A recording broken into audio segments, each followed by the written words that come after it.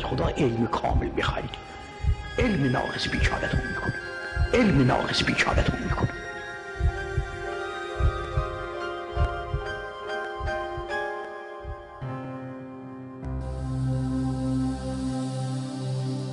بسم الله الرحمن الرحیم.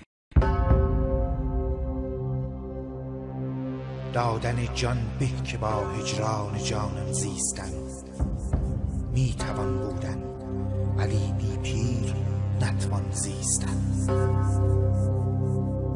هموار است و زیرش دام ها قحطی معنا میان نام ها قحطی معنا میان نام ها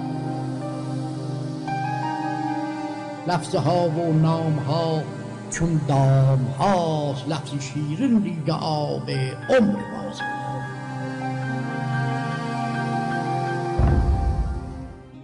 جای ترحم به قول بسینا مرحوم من وجهن جای دلسوزی ای جای دل در آوردی.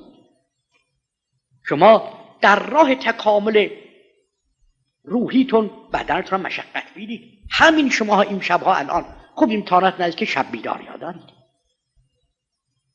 خیلی هم نوشیجان می‌کنید. خیلی. این درد و این زجر و این ناراحتی مرا نمی‌تونه از اون هدف والا نگه بداره.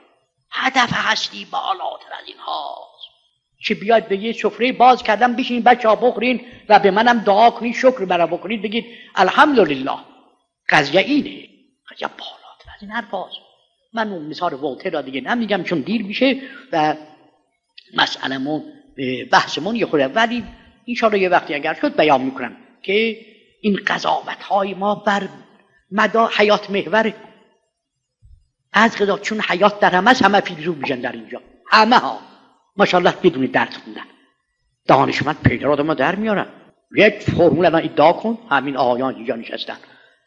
بله اگر یه حرف استدلالی کردی ولی ویلا ادعا کردی می‌دونی دیگه چی میگن؟ تلفن هم می‌گیره و میگه آمبولانس بفرست بله این آقای مسئله علمی تاجت سواد نداره. یختور از اون ته. آخه خیلی چیز قوی تره نیست یه خود نرمه نیست. همچین خیلی یخ یعنی اصلا نیست. سواد اصلا خبری نیست. توجه فرمودید یا نه؟ قهر از خدا را بیایید به جای علم به خودمون چیز نکنیم تلقین نکنیم. قهر از خدا. که معناش قهر از خیشتن است؟ با خدای تصفیه حساب دیگری ما باید داشته باشیم. همون من که می‌خواستم این مثال از کنم برای من من یک بغدش این است که شما باید با او بدونید قانونش چیه. بدانید این ابعاد و این مختصات از من چه می‌خواهد که اون منش راه بیفته. این یه مسئله. باز اینجا عیدی نداره. پارانتزه ولی چون ضروری می‌بینم و اجازه بدهید که من این را باز از کنم. یک دفعه اینه. صدایی میاد. همه ما میگیم ما مسلما این صدا علتی داره. درسته؟ یک دفعه این است که این صدا کننده کیست؟ مثلا انگشت یک انسان می‌خوره به یه چوبی بهش می‌زنن. چیه؟ و رابطه من با این صاحب صدا چیه؟ آقا قاطی نشه لطف کنید مخلوط نکنید مثلا اگر کس ندانست اگر. کس ندانست که منزلگه معشوق کجاست؟ این قدر هست که بانگ جرسی میآید. این را به عنوان یک axiom از در علمی بپذیریم که با گردنده گرداننده‌ای هست. که این کار و کیای از پی کیست؟ او کیست؟ کیای کار او چیست؟ که عرض کردم اکثریت قریب به اتفاقی که اون اکثریت توش دانشمندان هستند. نه اکثریت شود که آمیانه اونها نمی‌تواند به انسان بگوید که احتیاط کن. یواش یواش یواش. احتیاط کن. نپرو. مثلا بیختر از این الفاظ نمی‌تونی اثبات کنی اون وقت این مسئله مخلوط میشه که خب من ارتباطم با او چیه؟ من به اون نزدیکم نزدیک نیستم. من معلول او هستم. من صفتی از صفات او هستم. من چیم با او؟ اینجا را نمی‌تونه حلش کنه میگه نیست. چه نتیجه می‌گیرید ازش؟ من الان که جلوم این لیوان آب را گذاشته شما سوالاتی کردید در باش من نفهمیدم. فرض منم تشنگی ندارم اصلا. و شما خیال کرد که من تشنام اینا گذاشتید جلو من. روی میز من. خب نمی‌دونم. آقا میعانین از چی نمی‌دونم اجزای ترکیب دهندش چیه؟ نمی‌دونم. آخر این اکسیژن داره هیدروژن من نمی‌دونم.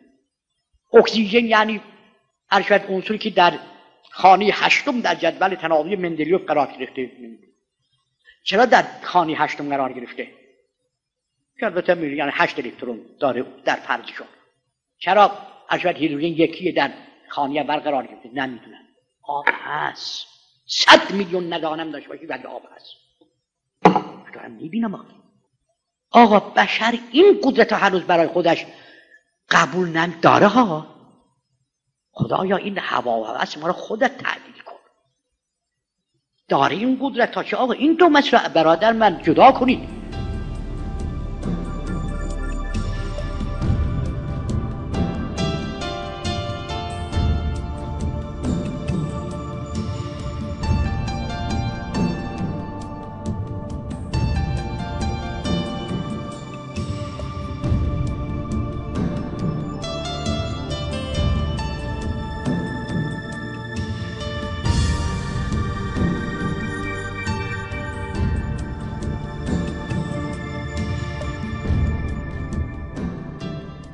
یکی از بزرگان یه مسئله مسئله خوبی داره که برای توضیحش خوبه. میگه در رفتیم در یه جای وسط بیابان رسیدیم دیدیم یک ساختمان بسیار مجلل و کاخ بسیار عالی ساخته شده. خیلی ابتدایی ترین ضروری ترین روشن ترین مسئله ما طبق قانون علیت این است که خواهیم گفت اینا چه ساخته رو چه هدفی آیا اینجا آدم ها ساکنن ساکن نیستن مهندسش که بوده بنداش بوده. این علال است. وقتی میخواییم بریم بالا تو پله هاش دو تا قطره خون دیدیم.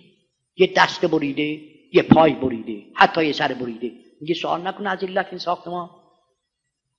چرا اینجا اونی که من به حساب نظم میآورم مراد نشده؟ من به حساب مراد نشده؟ این منطقه این کجای منطقه؟ اون یه سوالش او هست. نروید از زمین. ساختمانی که دست بشر را داره نشان میده. عمل و فعالیت بشر نشان میده. یه مسئله یه مسئله که آقا چرا اینجا این مسائل ناجوار اتفاق افتاده؟ چرا مدیریت اینجا اینطور به جریان نیفتاده است که اینجا خون قطرات خون دیده نشه؟ سوال حق دارید. دو مسئله است.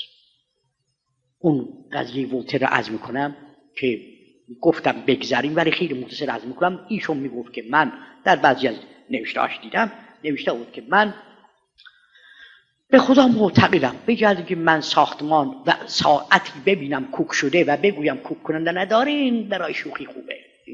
عقلی نیست این یکی مثل منطقی نیست. اما این شرور و ناملایمات من اذیت می‌کرد. من خدا شناسم خلاصه اگر هم مذهبی نباشم اصحاب دایرت معارفن اینها می‌دونید انسیکلوپدی های فرانسه. اینا اونها هستن دیل روست و ایشون است و کی و که ایشون میگه نه مسئله خدا اصلا صحبت نکنید این یکی که اصلا می‌بینیم ساعت شده است.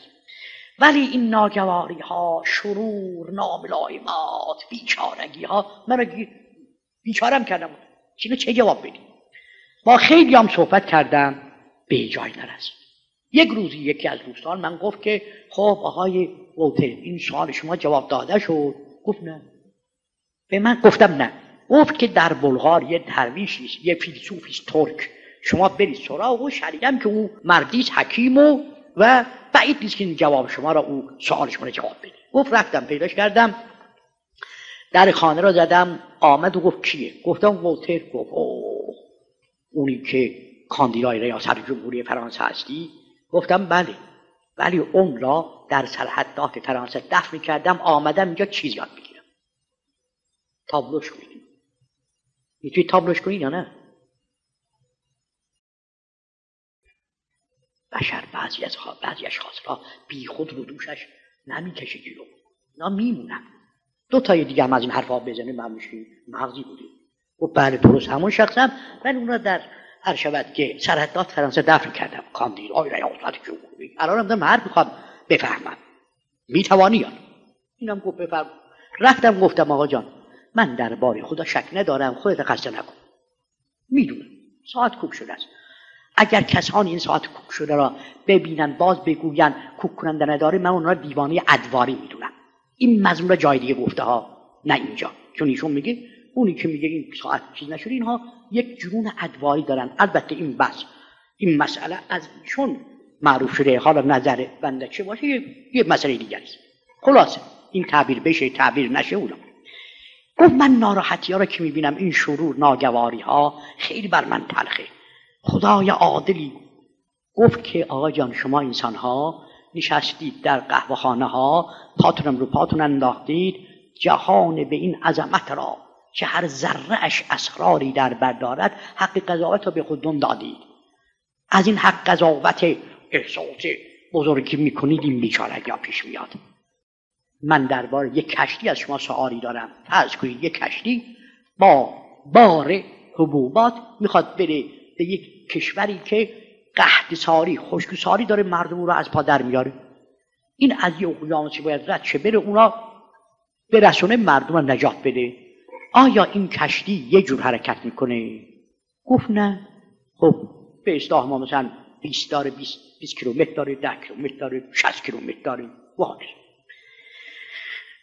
گفت که سطح دریا آیا همش یک نواخته برای کشتی؟ موج داره گرداب داره کرانه مثلا کوه داره نمی‌دونم کوتاه خیلی عمیق این مسائل هست یا نه؟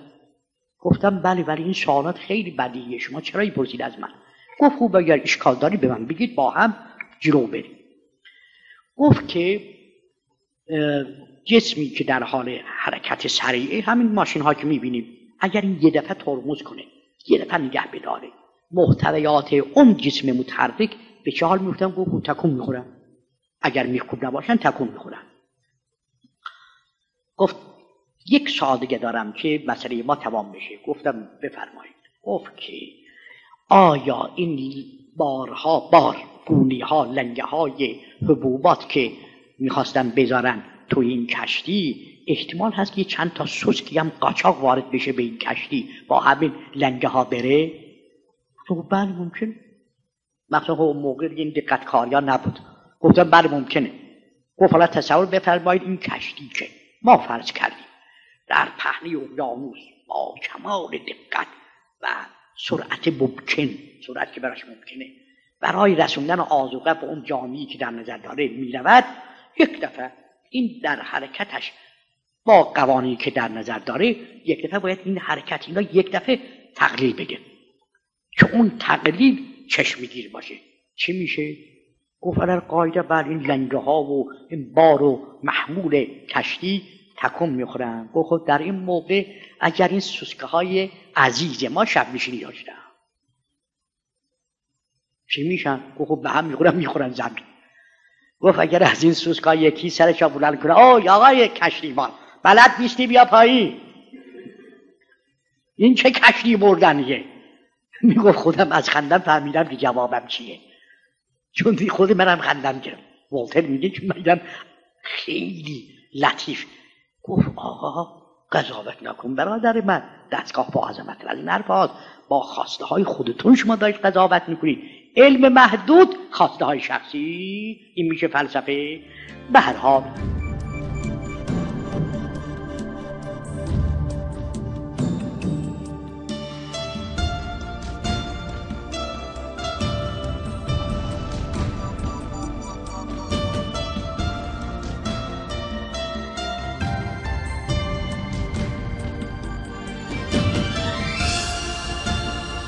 آیان در نظر شریفتون باشه خواهران خیلی دقت کنید. این از مسائل اساسی ماست. قهر کردن این که طبق خواسته من نیست و مهندس اصلی چیه؟ چیست؟ این یه سوال قاطی نکنید. البته بعد از اینکه یه خود پیشرفت تکاملی شد خود شما احساس می‌کنید بله چنین است که چنین باید و چنین شاید. اونجا که در اختیار ما نیست. اون انشالله در بحث های عرفان عملی و عرفان نظری شکوفا در زندگی با ایشالا بس خواهد شد که چیکار کنیم. اینجور بر ما مطرح بشه که غم و شادی بر عارف چه تفاوت دارد. او می‌رسیم بشه عجله نکنید تا بریم کم کم تدریجا پیش بریم. خب اینجا این جناب من از اینها داره از این تیکه های عجیب داره. از اون طرف شما قهر کردید از من. اخیرا من این نوگرای های از خدا پنهان از شما چه پنهان نوگرای های مولوی را می نوشتم چون خیره کننده است نوبینی. اصلا یه حادثه را این دوبار ندیده. و جدی هم هست. معلومه تصنع نیست. قلم را شما ها می‌شناسید ما هم می‌شناسیم تا حدودی. آدم طعم قلم ها میچشه که این می‌خواد خودشان نشون بده. تصنع یا طبیعی میره.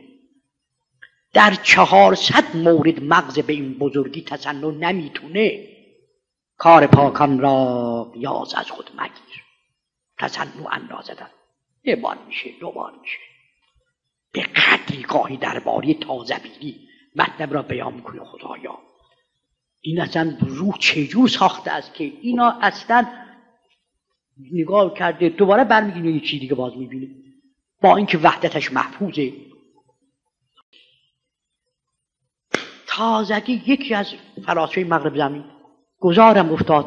استطرادی هم بودن نمی‌خواستم دنبالش برم. دنبال یک چیز دیگه میگشتم که این آقا نظرش در اونجا چه این شخصیت. میگه در شهود عرفانی تازه دیدن هستی یکی از اساسی ترین اصولش. من با وضع شکاکیت او شک گفتادم که مطلب را خود چشیده یا شنیده و دیده. شنیده در یک کتابی دیده. در عرفان مخصوصا از شرق چون از مصنوی ایشون شعر نقل کرده. هست هوشیاری زیاد مامزا ماضی و مستقبلت. پرده خدای میگه همونطور که شاعر عین بارتشه. همونطور که شاعر عارف پارسی زبان می‌گوید. بگم کیه این راسل؟ در کتاب میستیسیسم اند لاجیک عرفان و منطق. اونجا در زمان وقتی بحث وارد میشه به بحث زمان میاد میاد هی میره بالا میاد پایین هی راست و چپ این می‌زنه این ور اون ور این ور اون ور. بالاخره می‌خواد به این نتیجه برسه که زمان جنبه عینی نداره. بیشتر به احساسات ما مربوط است تا اینکه واقعا جنبه عینی داشته باشه. یعنی شما یک سیب را از درخت بکنید بچینید بیارید اینا تحلیل کنید به اجزاء حقیقیش. بگید رنگش کرویتش طعمش آبش و و یکی هم شیش ماهی که چهار ماه یا شش ماه زمان که در سر درخت بوده تا برسه نداریم هم چیزی ازش در نمیاد. شش ماه زمانم یکی از عناصر تشکیل دهنده نیست. توجه فرمودید. به هر حال اونجا میگه چنان که شاعر عارف پارس زبان گفته است که هست هوشیاری زیاد ما مزا ماضی و مستقبل پرده خدای آتشن در زم به هر دو. این نقاط زمان گذشت آید بیاد گذشت میاد گذشته آینده تا به کی پرگره باشی از این هر دو چون نی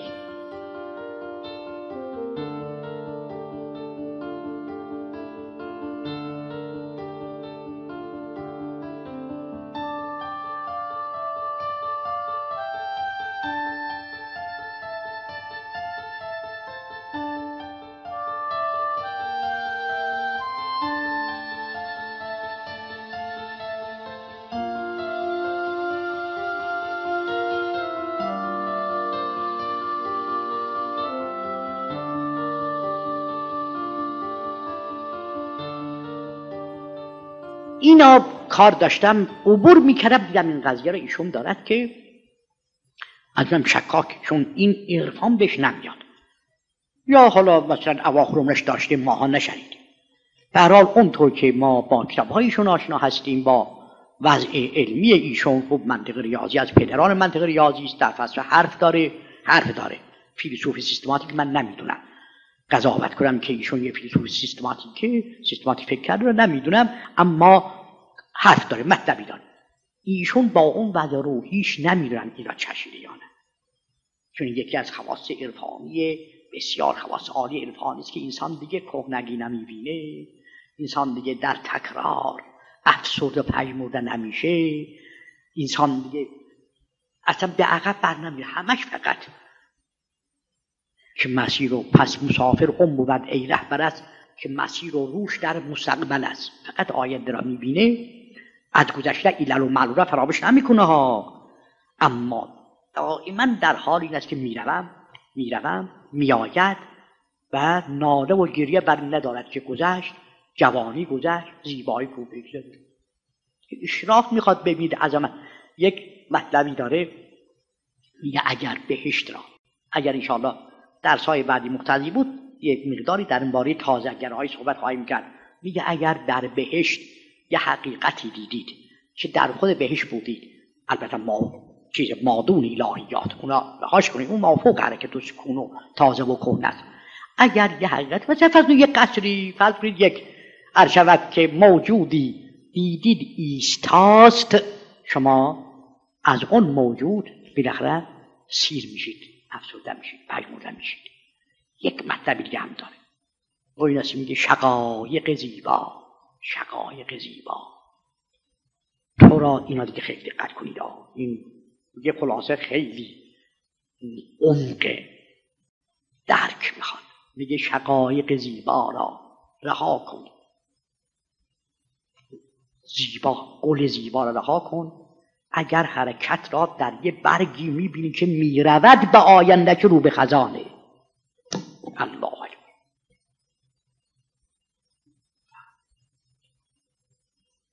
از کتاب های کهنه ماسی خیلی کهنه است. ولی قدیمیه. نه از قدیم. پیشه. رهاش کنید مثلا می‌بینید میگه اگر شقایق زیبا بخواهد شما را جلب کنه ولی دید تازه دید حرکت به جلو را از شما سر بکنه. اون زیبا اون زیبا رهاش اینجای زیبایی دو زیباست. یکیش حرکته چون جوابگوی خواست روح شماست که حرکته و آینده است. توجه فهمدی یک شم در اون نمودی که وارد میشه این نمود نمود قانونیه و چه زیبایی بالاتر از قانون. برها پس من دارای بود است که ما قهر کرده ایم از اون ابعاد و روانشناسی ما را به صورت یک چیزهای سطحی در آورده براتون بخونم بس باشه. هر شود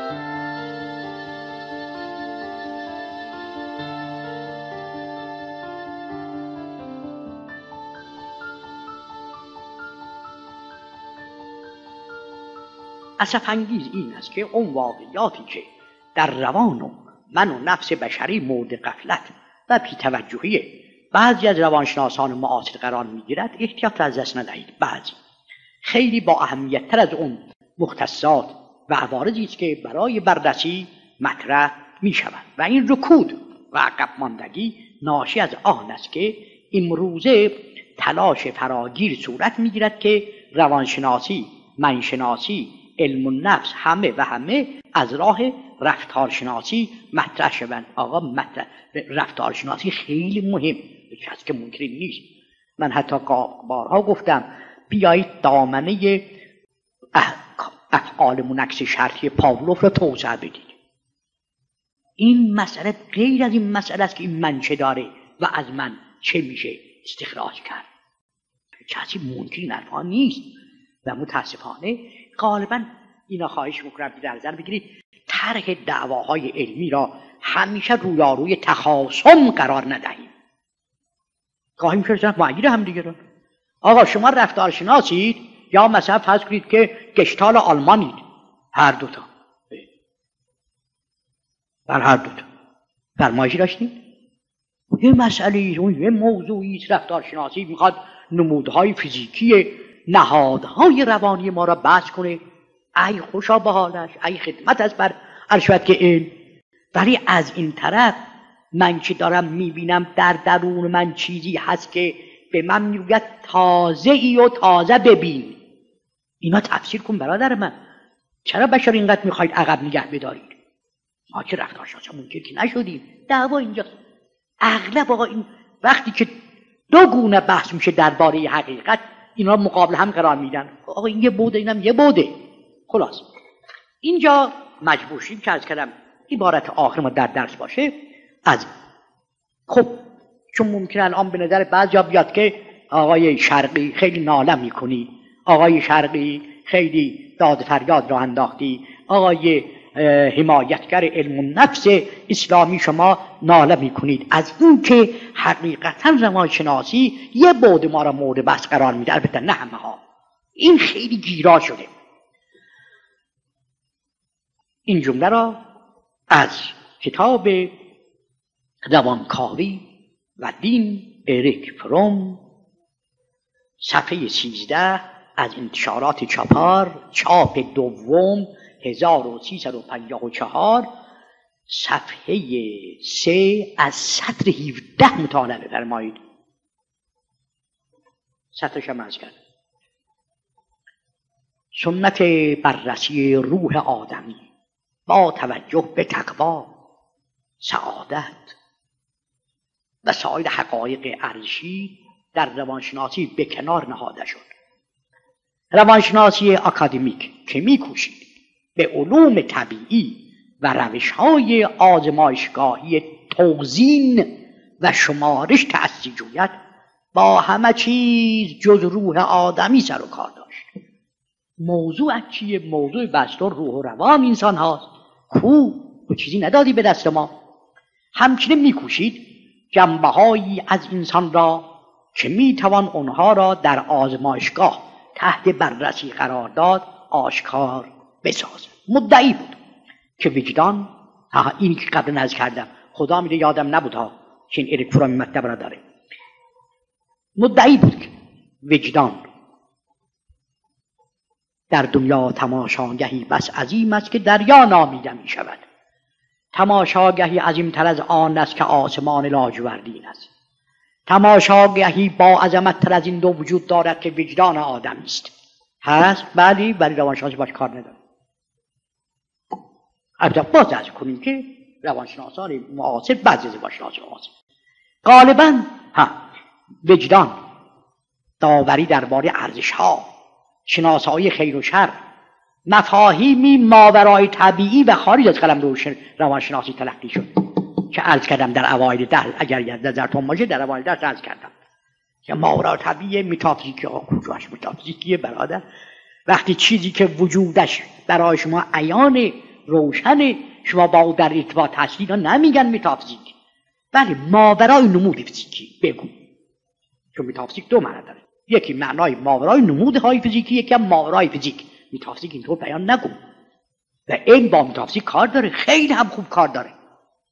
الان علت این که فرض کنید این روشنایی را ما می‌بینیم برای اغلب اشخاص علتش ناشناخته است نمی‌دونن.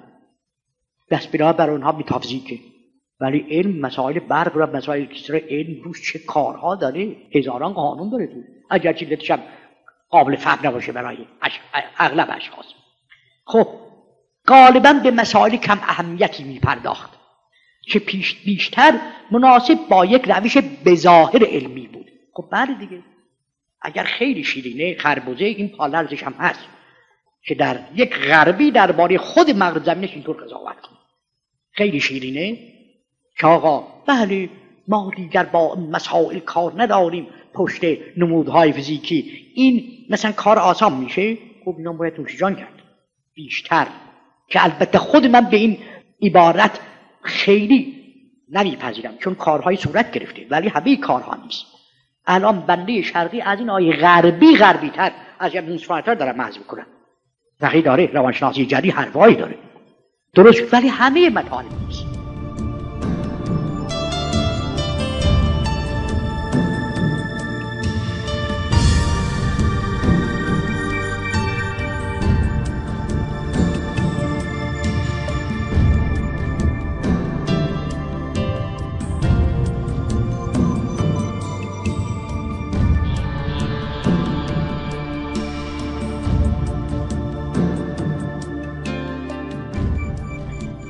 یعنی به صورت علمی در آمد که فاقد موضوع.